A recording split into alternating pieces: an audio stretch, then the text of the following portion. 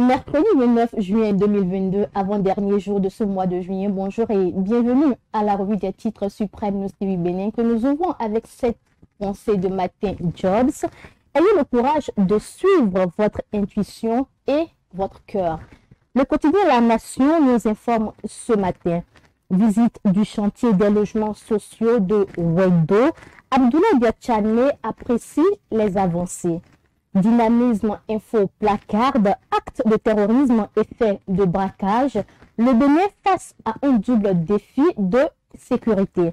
Neuvième législature en cas de majorité pour la mouvance. Quel schéma se prépare-t-il à la rupture pour le perchoir?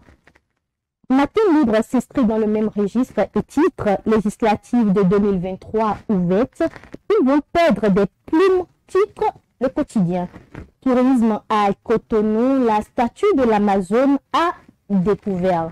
Le matinal met en manchette orientation budgétaire, les leviers de relance de l'économie en 2023. Logements sociaux en construction à Wedo. Chane satisfait de l'évolution des la presse du jour nous apprend ce matin au sujet de la défense nationale que le Bénin est désormais doté d'une armée solide pour répondre à toutes les menaces.